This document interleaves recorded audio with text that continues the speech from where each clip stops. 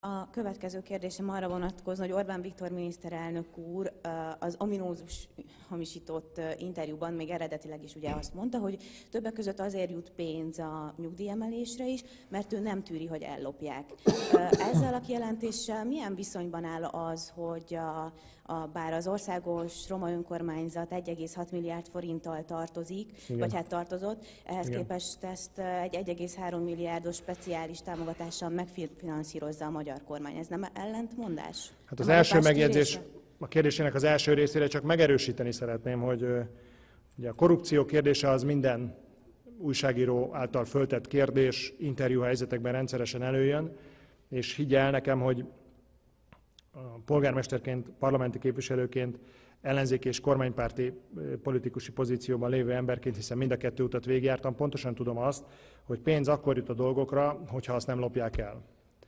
És nem jutna pénz nyugdíjas utalványra, nem jutna pénz a kórház konszolidációra, nem jutna pénz az iskolákra, óvodák támogatására, nem jutna pénz ezer milliárdos autópályafejlesztésekre, hazai költségvetésből, nem Európai Uniós költségvetésből, hogyha a kormánya rábízott közvagyon szép lopná. Csak azért van erre lehetőség, mert a kormány jó gazdája a költségvetésnek, nem nő a költségvetési deficit, hanem csökken. De bocsánat, akkor az Órió esete hogy illeszkedik ebbe a képbe, ahol mégiscsak vissza kellett volna fizetni ezt az 1,6 Úgy, milliárd. hogy a lónak is négy dába van, mégis megbotlik, mint talán ismert ez az összehasonlítás, ezért természetesen soha nem zárhatjuk ki, hogy akár közöttünk is, a kormányzati apparátusban, vagy a megválasztottak között vannak, akik tévednek, vagy súlyos hibát követnek el. Ezt értem, a roma önkormányzat... Hogy vissza kell fizetnünk, most Igen. már gyakorlatilag a nagy részét nem. Tehát, hogy itt a, visszafizetésig érthető, amit ha ön... megengedi, hm. akkor megkísérlek válaszolni.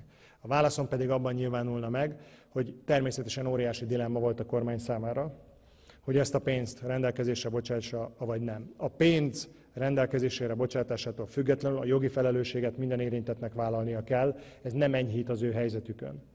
Azonban a roma önkormányzatot meggyőződésem szerint jól tette a kormány, hogy megmentette a csőttől. Nem hiszem, hogy az országnak használt volna az, hogy a jelenleg működő roma önkormányzatnak egy korábban elkövetett cselekmény miatt kellett volna csődbe mennie, és általában egy roma önkormányzatnak csődbe kellene mennie. Hogyan tudnánk a roma közösség fölzárkózását eh, támogatni egy országos reprezentativitást tükröző roma önkormányzat munkája nélkül. Ez volt a kormány dilemmája. Én megértem a számonkérést, hogy miközben itt súlyos visszaélésnek a gyanúja van, nyomozások vannak folyamatban, vissza kellett fizetni az EU-s támogatást, valószínű hiba történt, közben miért segít a kormány. De nem az a kérdés, hogy a hiba megtörtént vagy sem, mert a hiba megtörtént valószínűleg, azért embereknek felelősséget kell viselni. A kérdés az, hogy a romák országos reprezentatív, a cigányok országos reprezentatív önkormányzata az működhessen vagy nem működhessen. Ha nem segít a kormány, akkor nem tud működni. Nem leszünk előrébb. Bajt bajjal nem lehet orvosolni.